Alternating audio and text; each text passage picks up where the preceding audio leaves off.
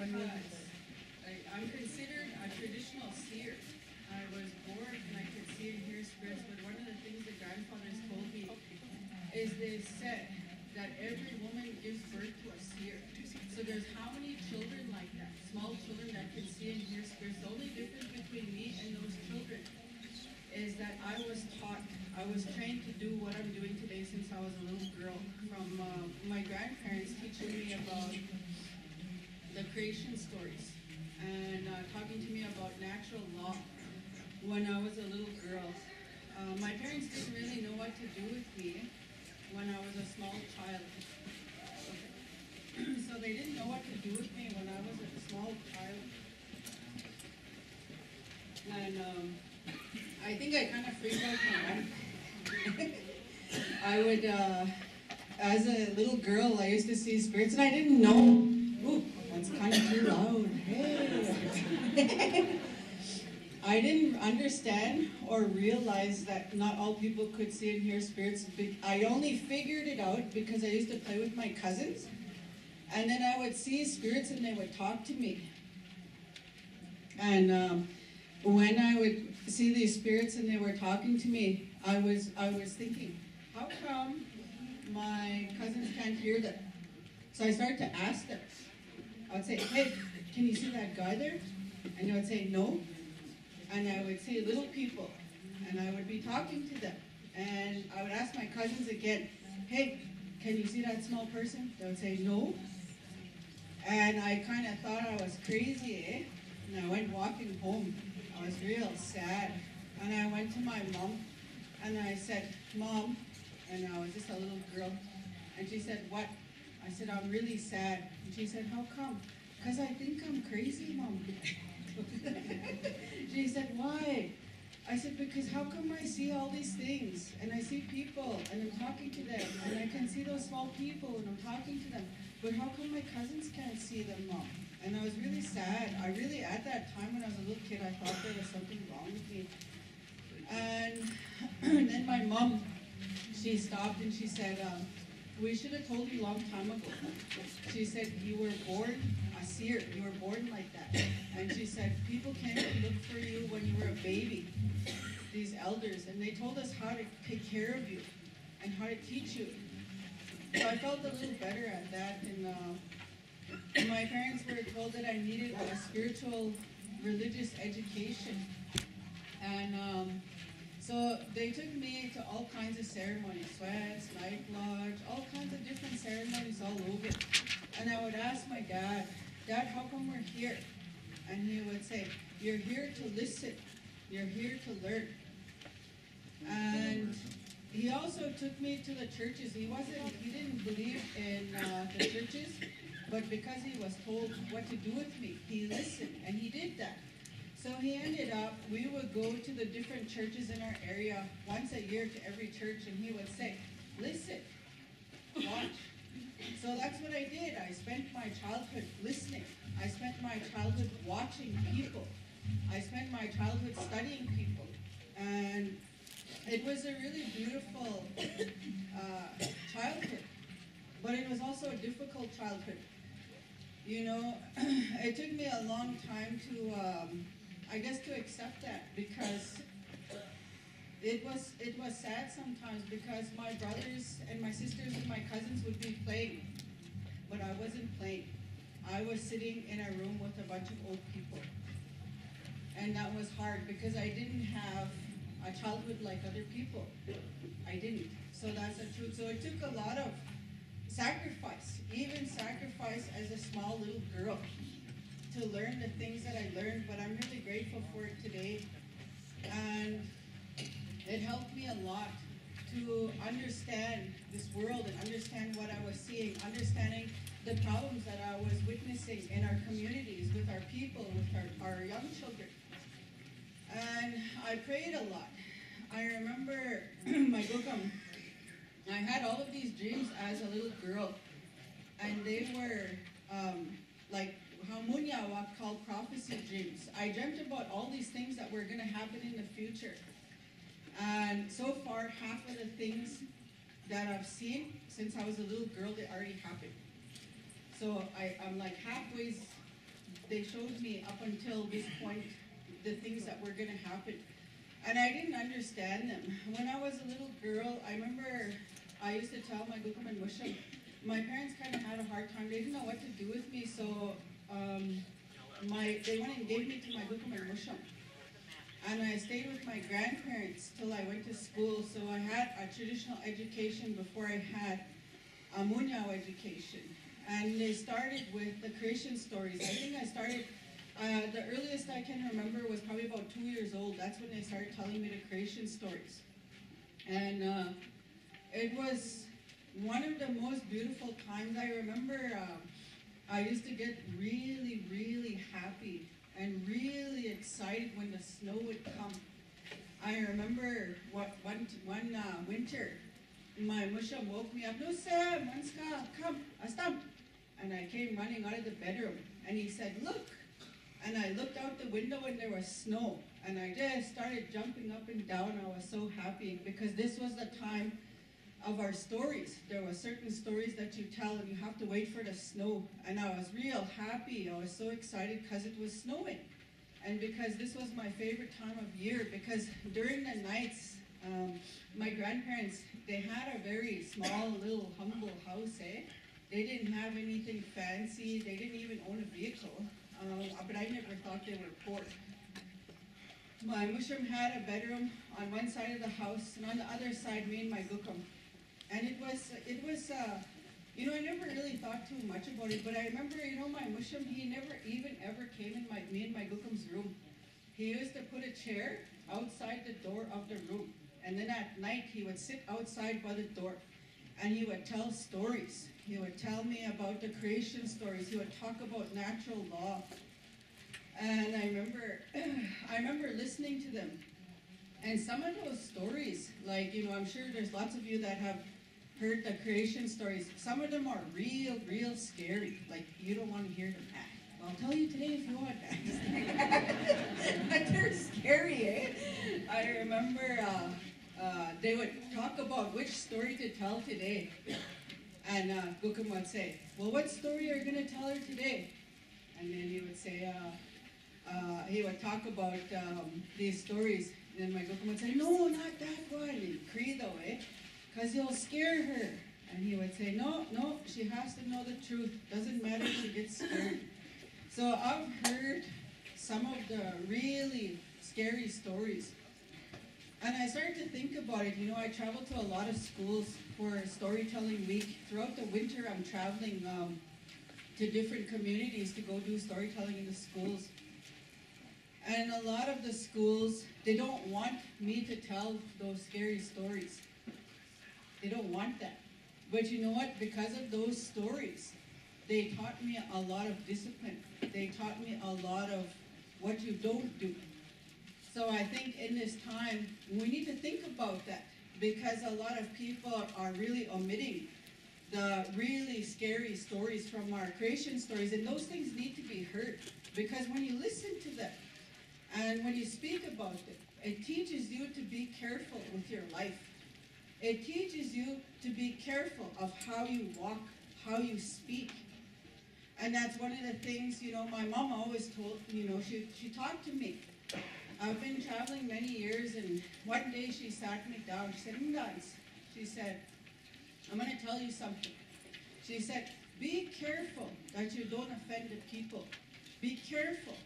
Watch how you speak. Be careful with your words because you can offend somebody. She said, What your job is. She said, These people all over, they have their own fire. Their fire is lit, otherwise, they wouldn't be alive. Their fire is strong. And she said, what you're doing when you travel all over, you're bringing wood. You're going to give them a piece of wood. You're going to say, here, this is for your fire. She said, that's what you're doing.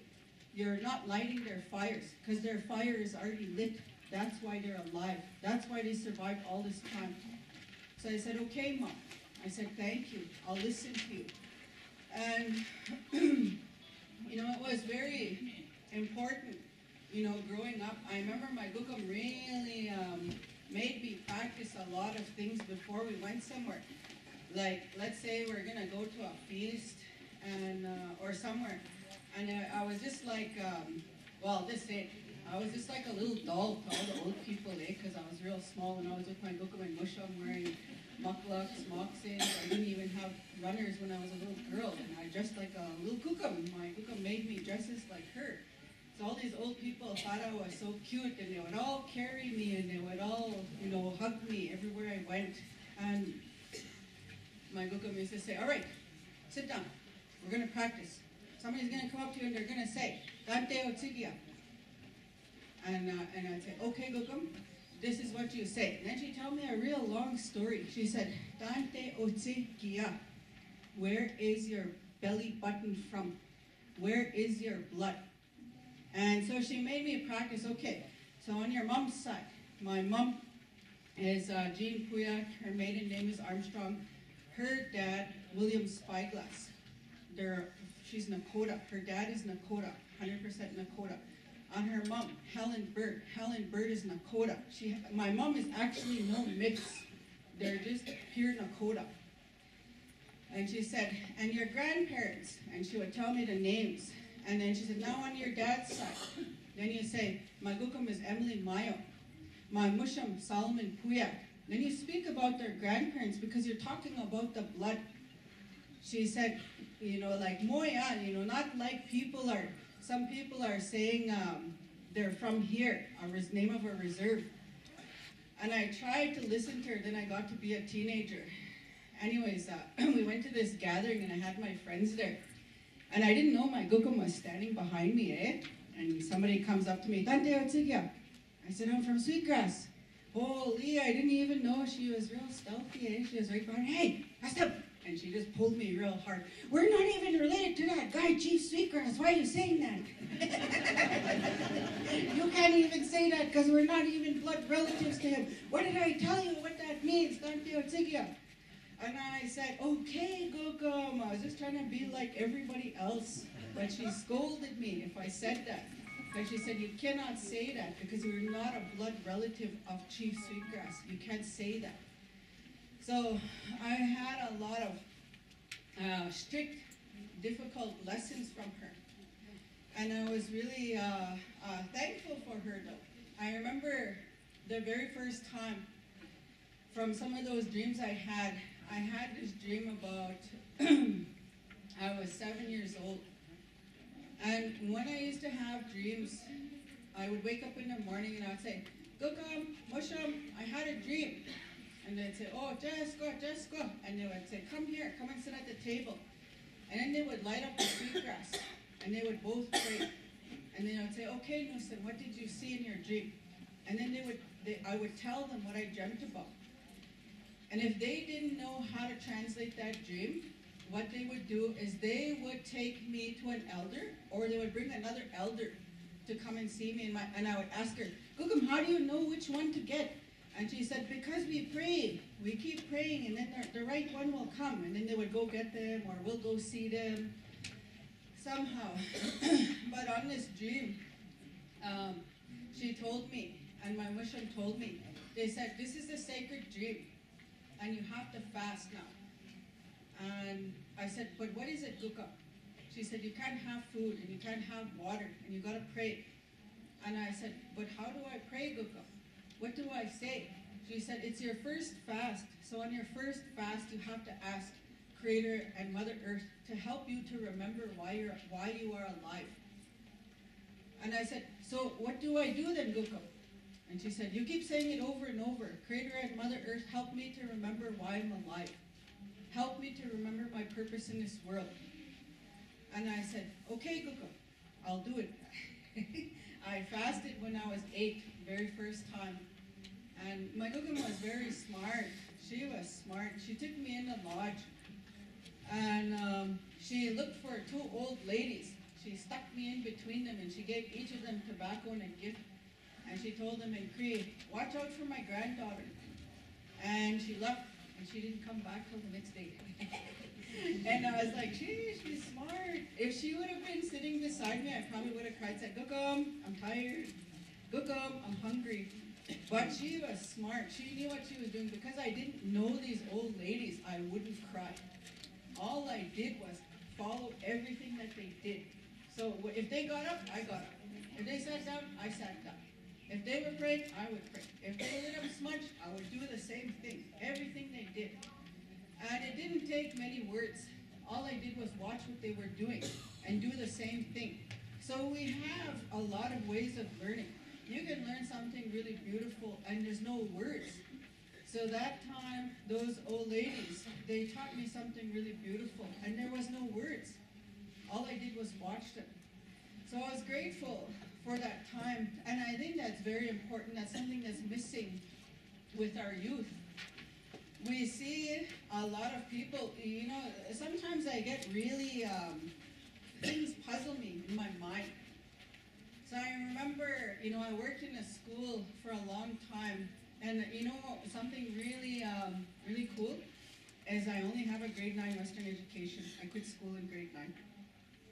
I have no Western education. My my parents, my mom was very mad at me, and she said, "You need to go to school because she's been a teacher over 40 years, and I want you to be a doctor or a lawyer or a teacher."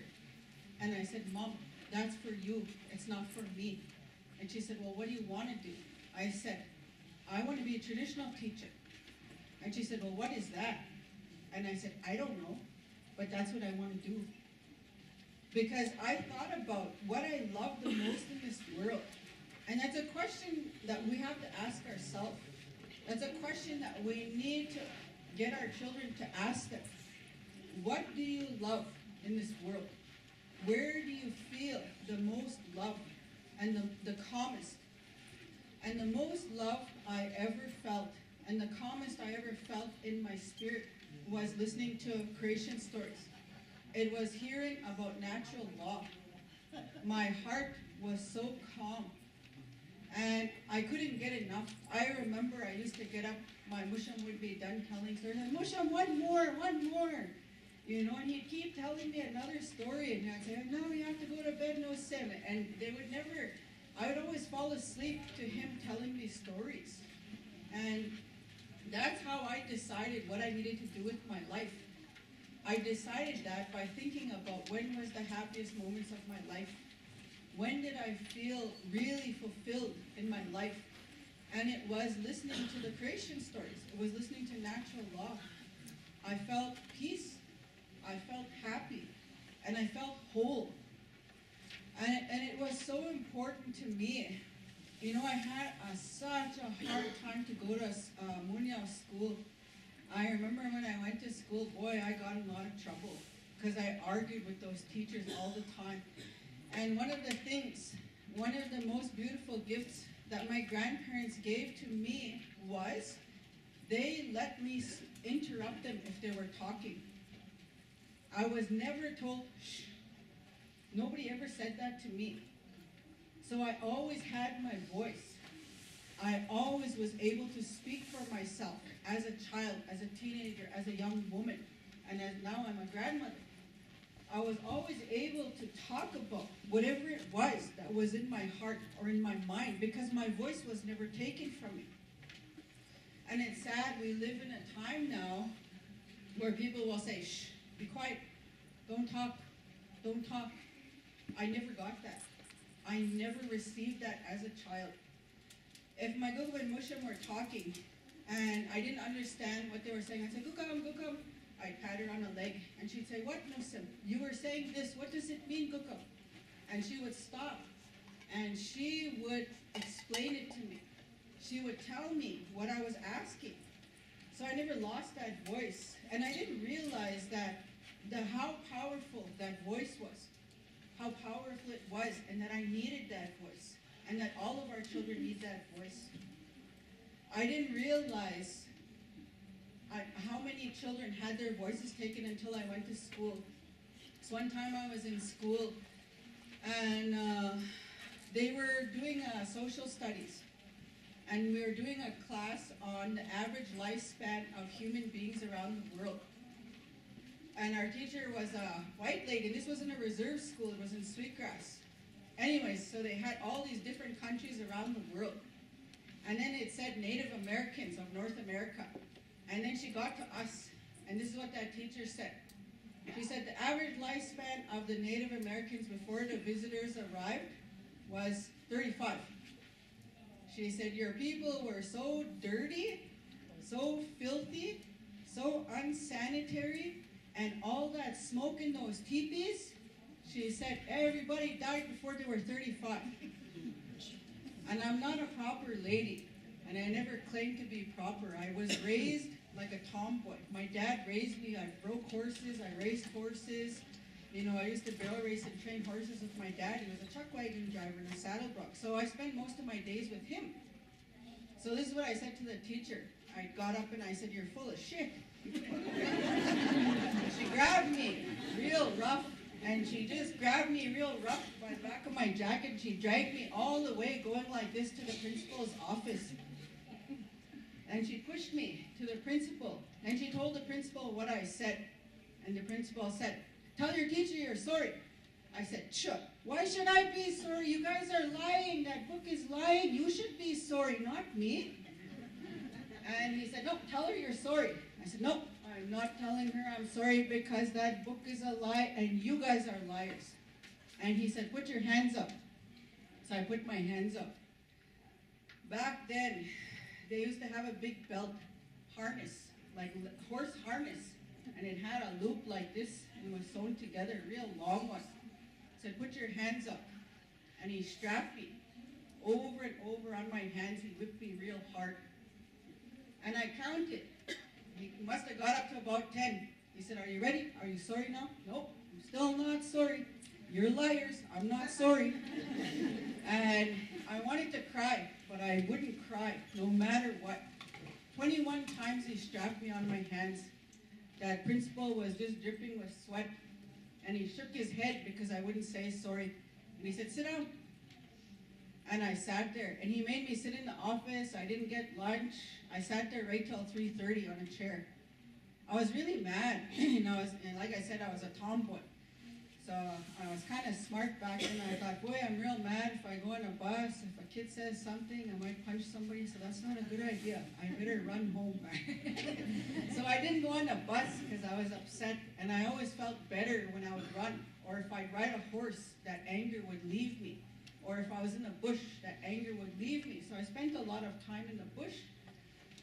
So I ran home really fast. Oh, and I, by the time I got home, that anger had left me. And when I walked in the door, it just so happened my mushum was there. And I walked in the door. And I said, Mushum. Right when I opened the door, he was standing right on the steps. And I was so happy because he didn't live with us. But for some reason, boy, the Creator is powerful, hey? Some reason he was standing right there. He came to visit us right at that time. And I said, Mushum. And I didn't tell him what happened to me. Mushum, he said, what? When you were a little boy, how old was the oldest living man that you ever seen? He said, well, on our reserve, there was an old man. He was 134. And I said, really? And he said, yep. He said, you know, a long time ago, the people, they everything they did was prayer. When they ate, they prayed. When they hunted, they prayed, they put tobacco. Fishing, put tobacco. Berries, they put tobacco. Medicine, they put tobacco. Even drinking water, they were praying. And he said, our life was all about prayer. And he said, excuse me, it was nothing. It was normal for somebody to live over a hundred. He said, because we were so healthy, because the way we lived and we were close to the earth. And so I was really, it, it gave me a really big relief. And when I started to travel around in the different communities, that's a question that I always ask them. And it's not a question that I, I'm asking them because I want to know. It's a question because I want them to remember. I want them to remember who we were and who we still are. So I asked them, go and find the oldest people you can find in your community. Go and ask them, how old was the oldest living man and woman that you ever seen when you were a child? Go to these old people and go and ask them, how did you live when you were a child? How did you get water if you didn't live by a creek or a river? How did you keep your food if you had no fridge? How did you do it? These are the things I asked. My grandparents and my dad, they all passed, you know, um, uh, by the time I was 24, all four grandparents were gone and my dad. And I had my whole childhood up until that time in ceremonies. And I spent so much time with my grandparents and my dad, and I missed it. And my gugum told me, she, she called me one time, and um, she, my auntie phoned me and said, Gugum wants to see you. She was in an old folks home. And I remember when I, you know, uh, when I was a little girl, I remember she used to tell me, listen, don't ever promise something. Because if you promise something to the Creator and you don't fulfill that promise, things are not going to go well. Don't ever do that, she told me. So when she called me to the old folks home, my auntie said, Gukum wants you, you're supposed to go right away. I said, okay, I'll go. So I went to go see her. And she told me, listen. I said, what Gukum? And I was a real big baby. When I go to the old folks home, I would lay on the bed with her. Sometimes I'll camp there with her and I'll sleep on the bed with her and I'll hug her and she'll hug me. And even though I was a grown woman, she still treated me like a baby. She would hug me all the time. And she said, Lusim, I want you to promise me something. And I said, what, Kukum? And she said, I can't live forever. And she said, I'm not going to live forever. I don't have long. She said, I want you to promise me something. And I knew this was a big deal because she told me, don't ever make promises.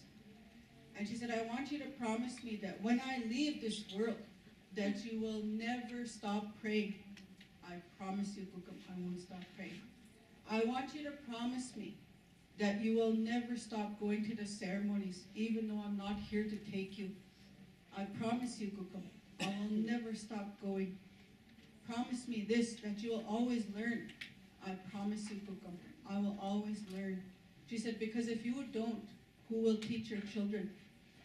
If you don't do this, who is going to show them? And I said, okay, Kukum, I'll listen to you. I will, I'll do it. So after she passed, um, I was so lonesome for her. And there were so many questions that I wanted to ask her still. So I took all those questions to her friends and to my Mushum's friends. I went to visit all their friends. Anybody that I knew that was friends with my Gukum and Musham, I went to visit them. So I'd ask them these questions. How did you eat when you were a small child? No fridge, no stove. Did you guys ever go to the doctor? No. We had our own medicine. what does the, things like, you know, what does the beadwork mean? My Gugum told me, she said, long time ago, she said, the people used to have a gathering. And she said, what did they put on the girls' clothing, the women's clothing, the beadwork? You would know that person had that medicine, they carried it. She said, they didn't just put flowers on the beadwork, just good stuff. You would know. And she said, when you would go to the trading camps, the certain medicine you would look for, you would look on the women's dresses and you would look for that medicine. Then you would know that that girl, her gukam or her mom, or maybe even her, that their family carried that medicine. Then you would go where her camp is and you would go and ask them. And then they, you would make a trade with them. She said, that's how we did it. She said, that's why on the beadwork, families have certain flowers. It was because that family carried that medicine. And you see certain different vines on the beadwork. They had that medicine. So she told, she talked to me about uh, the beadwork, about the designs on them. And I was really thankful for these beautiful things that she taught me.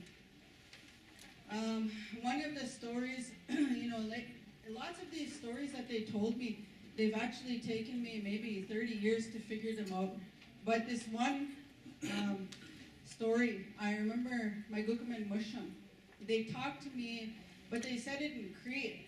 And they, how I translated this story was, she spoke about my dad and my Gukum. They talked about, they said that there are seven level, levels of our existence.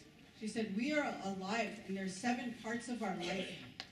And she said, the first part, she said, of our life, and she said, we were alive even before we entered into our mother's womb. She said, you were alive in the spirit world. And she said, in the spirit world, the Creator, He gave you many stories. He taught you all of the solutions for every problem that you were going to have. And He showed you, He let you pick your parents. And on one side, He said, look this way. And on this hand, it was the most difficult, most heartbreaking, mo most painful things that you were ever going to witness in your life. And on this side was the most beautiful things that you were ever going to see while you're alive. And the love, the happiness, the joy, all the most beautiful parts of your life. And she said, then the Creator asked you, because he gave you free will, he said, do you still want to go now that I've shown you the difficult and I've also shown you the beautiful? Love always outpowers the difficult. So we all agreed, every one of us sitting in this room, that we were going to be born and that we were going to be alive. And we agreed, even though we saw our own heartbreak, even though we saw our own pain, because that love is so powerful. We agreed. And so then we came. We entered into our mother's womb. The first place, the first element we entered is water. So I was working with these elders back home, and they had um, this book. They asked me to help them to teach uh, traditional life skills. And on the cover on one of these books, it said Matsuin. And um, one of the elders said it means the good life. And I didn't want to say anything at that time. Matsuin, key word, matu. The correct translation of Matsuin is this is the life of tears. The key word is tears. And this Western world has really tainted the way we look. Because if you ask somebody, what comes up when you hear the word tears? Matu. Usually people say sadness. But we don't just cry because we are sad. We cry because we are so happy. We cry because something is so funny. We cry because something is so beautiful. You know, I had cancer about um, uh, almost 10 years ago now, and the doctors told me I only had uh, less than a year to live. And I, I started to plan my funeral. I had cancer in the throat and in this one lung. And they said I didn't have very long to live. And um, I, I accepted at that time that I was going to die. And I started traveling around and started asking uh, my family, this is what I want for my children. And then when I went to visit their my kid's dad and I told him I'm dying, I don't have very long to live, I'm really sick. And I told him this is what I want for the kids. And I drove away from his house. When I drove away, I stopped on the road and I cried. And I thought, you know what? No matter how much my mom loves my children, she will never ever love them like me. No matter how much my kid's dad loves my kids, he will never love them like me. And that day, I told the Creator, I said, if you let me live, I'll work for you. If you let me live to watch my children grow up and to watch my grandchildren grow up, I'll go anywhere you want me to go. I'll do anything you want me to do, just let me live. And, uh, and I decided that day that I was going to live. I decided that day that I'll do whatever it takes to be alive. And uh, I took, uh, I went to a lot of ceremonies. I did a lot of praying. Uh, one of the things that um, I tell people is I didn't want to hear that word cancer I didn't want to hear about it.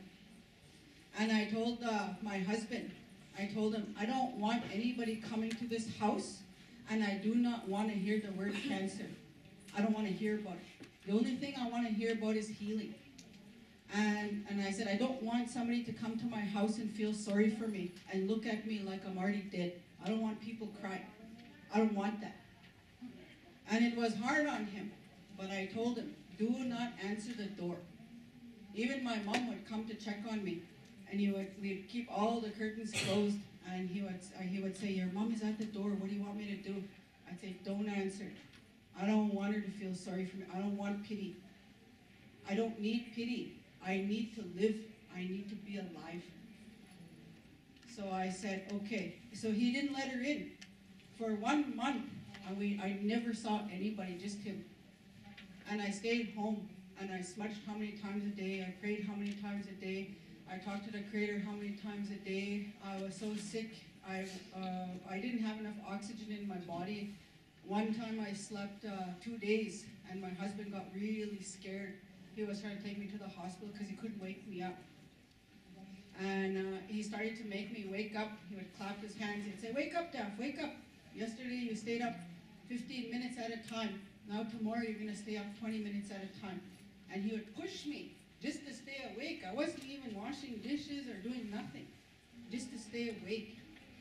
And it's funny because even though I couldn't wake my body up to get out of bed, my mind was still awake, fully awake. And all I thought about was healing. So that was important to me. So when my first grandson was born, oh my God, I, it was the, the, one of the most beautiful days. I couldn't even believe how I felt. You know, usually when they take babies out from their mom, they'll say, put the baby on the mom's heart right away. And my Nussim was born, and I was standing there. And they pulled him right out from his mom, and I cut the cord, and the nurse said, lay him on your heart. And I was so frozen, and I put him on my heart, and I looked at him, and I thought, Oh my God, I did it. I made it. This is the most beautiful creature I've ever seen in my whole life. And I just cried, and it was a strange cry. Because you know when you cry, you have a lump in your throat? But these tears were just coming right out of my eyes. And they were tears because I was so happy. They were tears because I was so grateful that I made it to that point that I got to see my grandson. Now I have six grandchildren. And all they came right one after another. so I'm happy to be uh, a kukum. And uh, you know, there was times where I'd go and sit outside. Sometimes my heart would be lonely. There's a real beautiful place where I live. It's called Drumming Hill. There's another one called uh, Saskatchewan Sliding Hill in Sweetgrass. So when my heart feels sad or I feel lonely, I go out to those places in the bush on the land. And I sit on the land. My, one of my favorite times is when the sun is setting. So I drive out when I, I watch when the sun is going down, and my kids know this, this is regular. And uh, they ask me to come with me sometimes, and I go drive out there. And I sit there, and I just watch the sunset. And I just think, man, this is so beautiful. And all these thoughts come to my mind, you know, like how beautiful the sky is when there's all this pink and this purple and this blue. Things that are, are very difficult that you can't even paint. Even you try to take a picture, it never comes out. But when you're right there, right at that moment, it's so beautiful. And I've sat there how many times and I've cried just because I thought that was so beautiful. But it took me a long time to learn how to cry. And the second word, matutsan, matuk, key word, the place where you go and sit to leave your tears. Sweat is not the proper translation for it. Matuk, matutsan, where you go and sit and leave your tears. The other word, pun matso, pun matuk. We don't even have a word in Cree for death. There's none.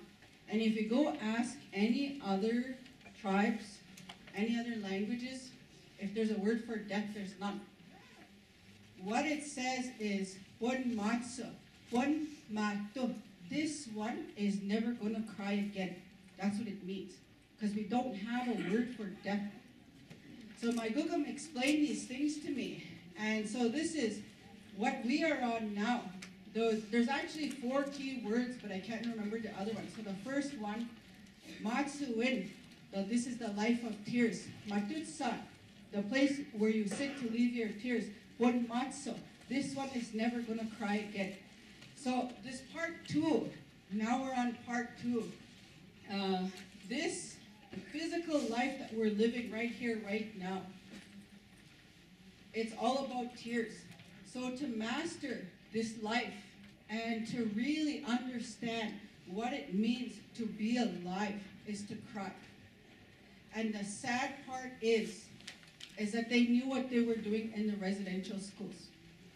They really knew what they were doing. They beat up kids. Shut up, shut up, don't cry. Shut up, shut up, don't cry. Shut up, I said don't cry. Next thing you know, parents are coming home and they don't know that that's not right. Next thing you know, parents are coming home because that's how they were raised. They're telling their own kids, shut up, shut up, shut up. My parents did that to me too. They didn't know. But I realized this after when I started to figure out my Gukum's story, what she talked about, the life of tears. And that one, my Gukum, she didn't ever say that to me. She never said, don't cry. When I would cry, she wouldn't even say words. She would just sit beside me and she would hold my hand and she would just let me cry. So when I started to figure out this story, it actually took me two years to learn how to cry. I had to give myself permission. So I would tell myself, I would say, Daphie, you're an adult now, and no one's going to tell you, shut up, shut up. No one's going to say that to ever again.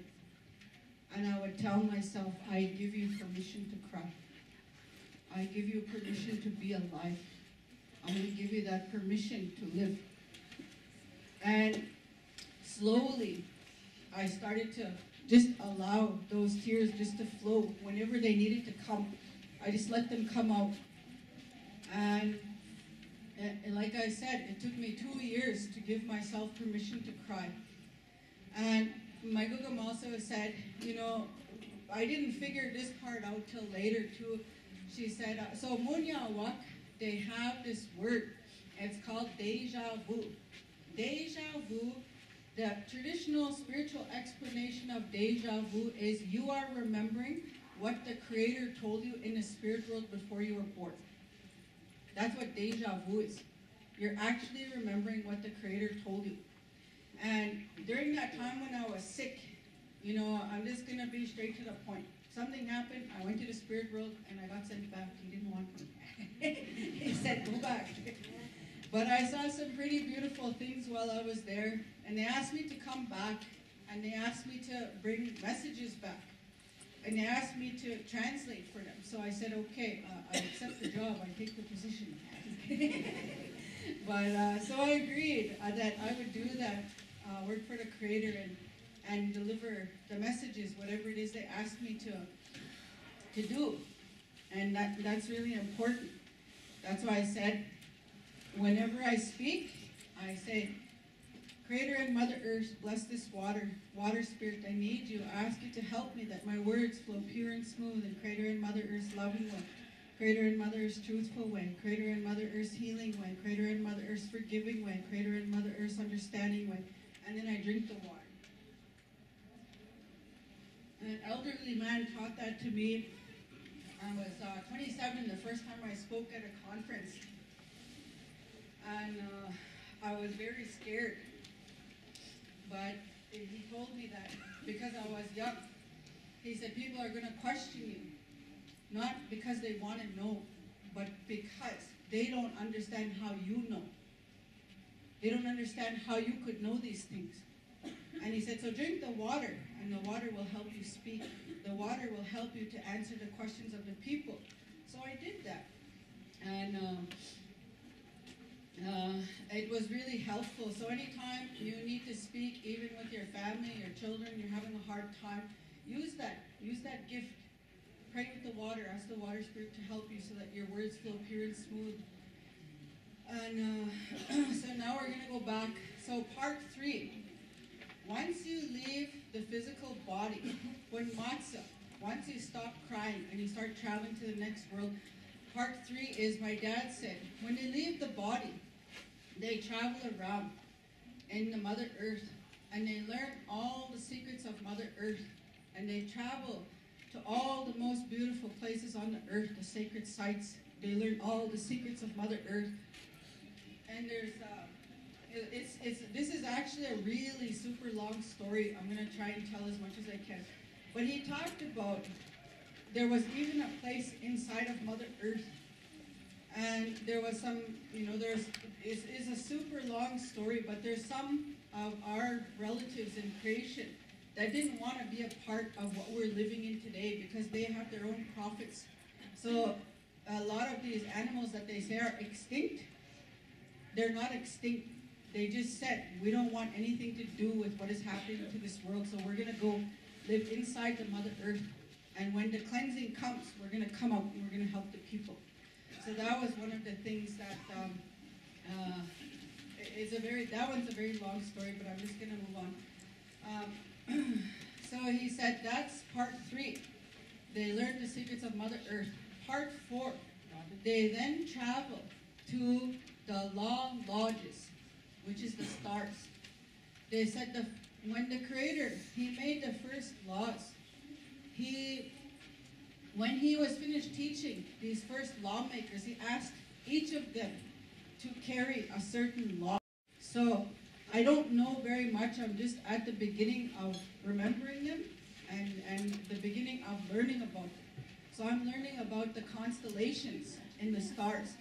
And the grandfathers have taken me and taught me some of these things that are that are happening. They told me about like the constellation of the bear. The grandmother bear and the grandfather bear, they they are the ones who hold the laws of child rearing. We have laws of how you're supposed to raise your children. There's laws in there, and it's very important. I'll give you an example. I had one of my sons, he's always in jail, he's living on the streets, and, um, you know, uh, doing drugs, selling drugs, violence. And um, I try to help him. He wasn't raised like that. He was raised in a ceremony family, but he left. He went. So he went to live on the streets and got into lots of trouble. Anyways, um, he phoned me one time, and he said, uh, he's, he's, I've gotten some pretty scary calls from him. He'd call me and say, Mom, I'm getting shot at right now. In case if I die, I just wanted to phone you, and I could hear gunshots in the back. And I'd say, pray with me. Don't get scared. Pray with me. And so we would pray. And he'd call me again, Mom, he said, I never ate three days. He said, uh, and I have nowhere to sleep. I got nowhere. I'm just walking around. He said, I'm stuck. Where are you? Stuck by Siksika. And I said, okay. He said, can you send me money so I could eat? And I said, okay, listen here, son. Uh, there's natural laws that I have to follow, that you're my child, and I cannot overstep the Creator. So, I'm going to tell you a story. Every year I go fast, and I have no food and no water for four days, and I never die. And I said, Have you been drinking water? He said, Yes. I said, All right, I'm going to tell you another fact, son. If you're drinking regular tap water, a human being can live 10 days on just water alone. So, you ain't going to die. That's the good news. And I said, and no, I will not send you money. I said, I will pray for you. And if you pray hard enough and you tell the Creator, Creator, I'm hungry, you talk to Him. You talk to the Creator, not me. Because I'm not going to step over Him. And I'm not going to cross that line, of, you know, uh, of, of Creator trying to teach you something. I'm not going to interfere in your lesson. I said, so if you're hungry enough, you will pray. I said, all right, son. I'm at work right now. And you know what the strange thing was is I was working in a treatment center in Nelson House that day he called me and it was lunch break. So I was in a room full of addicts that were just like my son. And I had to tell my son this. And I said, all right, I love you. I send you a prayer. That's all I can give you today. So have a good day. Maybe you can call me tomorrow, but I love you. And I hung up the phone and I went back to work. And the next day, he called me. He said, Mom, he said, I was walking down the road and he said, I was real hungry my stomach was just growling. So I started to pray and I told the Creator what you told me. I said, Creator, I'm hungry. I never ate three days and I'm really hungry. I have nowhere to sleep. I have nowhere to be, nowhere to live. And he said, uh, all of a sudden, he said, there was a real old truck starts coming down the road. Boy, a real old truck it was just, you know, real old Ford, real old style truck from long time. All of a sudden, this, this old truck, it stopped. And this old man, he rolled down the window. And he said, hey, cowboy. And he said, where are you going? And my son said, I don't know where I'm going. He said, what's your name? He said, Nakota Pooyak. And he said, are you related to David Pooyak? And he said, yes, that's my grandpa. He raised me. He said, oh, your grandpa was my good friend. We used to ride saddle bronc together. Get in. And he got in a truck. And he said, I got to this old man's house in Siksika. He took me to his house, little small house. And he said, when I got in, he said, all right, cowboy. He said he went in our room. He said he had a real old-fashioned Wranglers and old-fashioned snap-button Western shirt, eh? He said, you know what, Mom, that old man even gave me one of his clean gitch He said, that was really weird.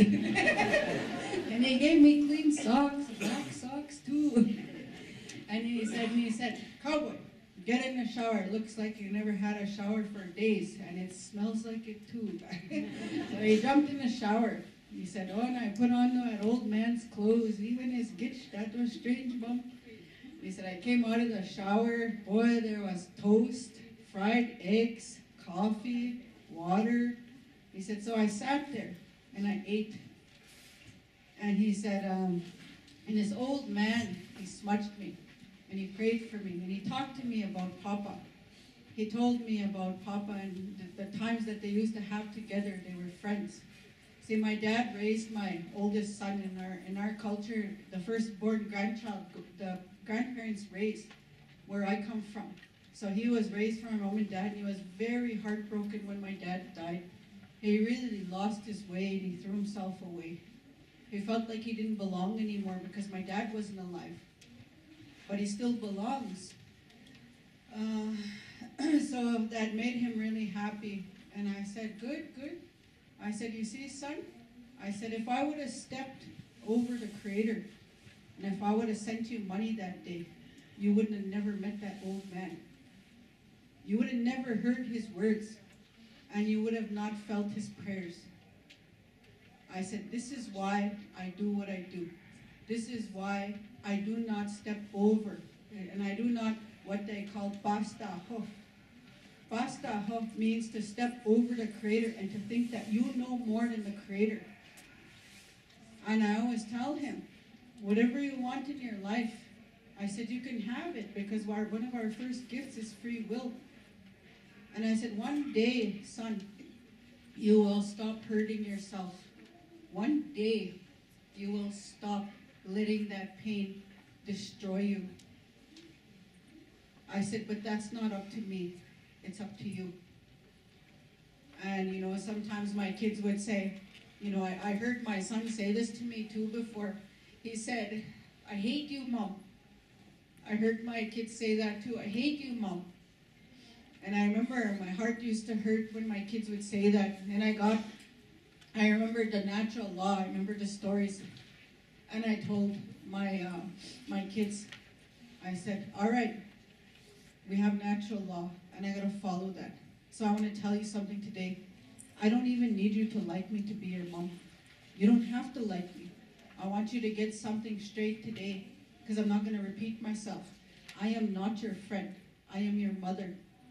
And you don't even need to like me. It's okay if you hate me. It's okay if you get mad. I'm all right with that. But you need to know that you don't even have to like me and I'm still your mom.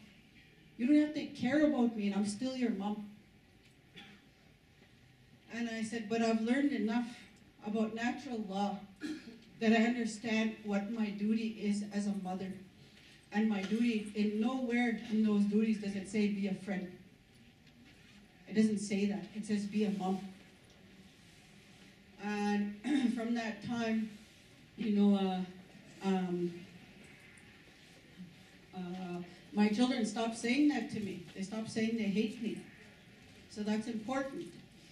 So there's many of these, I wish we had more time because there's many different constellations and each of them has um, uh, a spirit that resides in these constellations and the stars and they hold natural law and they teach natural law and it's very important.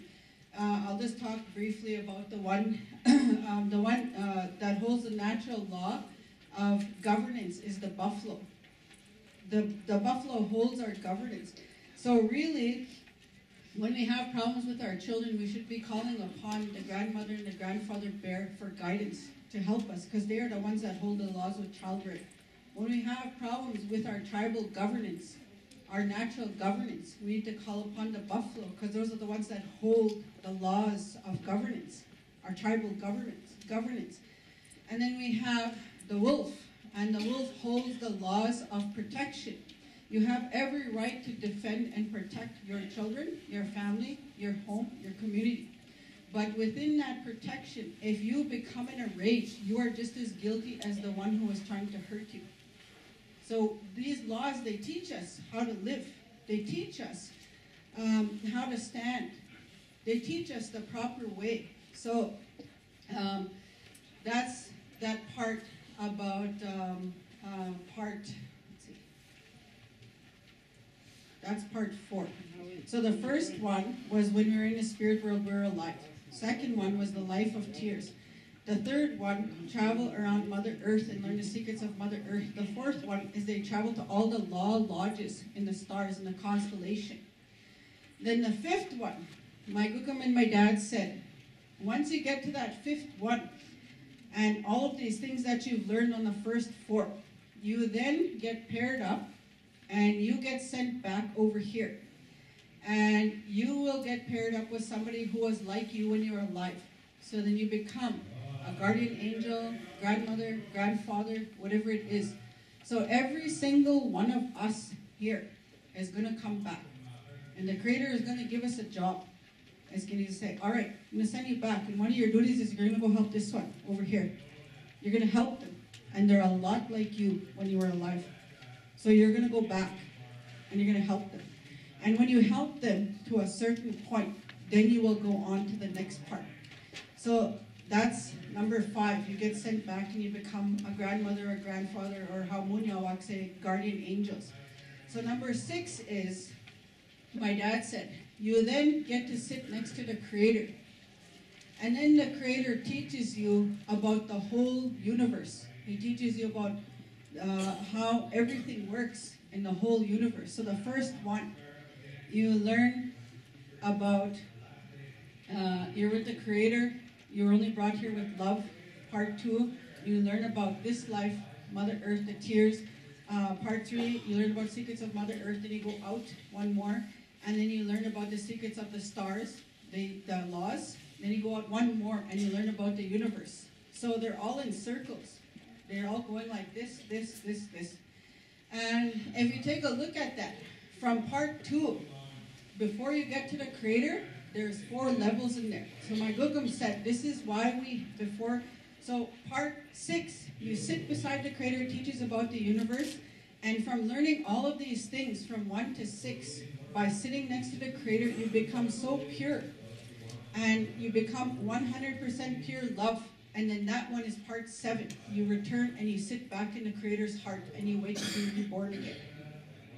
So in between here and when we return to the Creator's hearts, there's four in there. So this is why we have four feasts. The first feast after somebody passes away onto the next world, the first one is you have your first feed, feast, and that is to feed your relative, to navigate them through their travels to the secrets of Mother Earth. The second feast is to help your relatives to navigate, give them enough food, enough sustenance to travel The second feast is to help them when they travel to the stars, to the law lodges. You're feeding them so that they have enough strength to get to all the law lodges. The third one, you're feeding them again for their journey when they're going to come back and they're going to be a grandmother or grandfather or guardian angel. And the fourth one is you're giving them enough food till they sit next to the Creator and learn the secrets of the world, of the whole universe. So, um, this story is actually a lot longer, but you know I had to kind of make it shorter. It's a, it's a it's a little bit longer than that, but it's important. One of the things that really pushed me to learn about the language and about our, our traditional ceremony words is I wanted to learn. I was getting ceremony songs given to me, and in these ceremony songs, um, uh, I didn't know what I was singing. And I thought, man, am I ever a disrespectful kid? No respect and I was like, how could I do this? You know, my kokum would never have it, me singing a song, her song. And I don't even know what I'm singing. So I started to take those songs apart, each of the words, the meaning. And when I started to take the Cree language apart and looking for the key word, what it really means, I realized that there's no way that you could put this. I looked at a Cree dictionary, and there's no way that you could put our words into one English word. You can't, because it is a whole phrase, it's a whole idea. It's almost impossible when you're when you're speaking Cree to try to translate into English. It's a really long story. It's not short. It's full of virtues. It's full of ideas. So that's important. and um, one of my um, favorite songs, it, it's a really beautiful story. And it talks about, it speaks about this man. And this man was having a really hard time in life. And they talked about that he wasn't right in his mind in this song. And it says he wasn't right in his mind, he lost his mind. And the Creator, he was praying, and the Creator took him into the stars, to the law lodges, and he went to visit there. And as he learned not natural law, the more he learned about natural law, he was not crazy anymore, and his mind was straight. So it's a really beautiful song, but it took me a long time to take it apart. What does it really mean? What does this song mean? So that's important. So I'm going to sing a little bit of that song, and I'm not going to use this as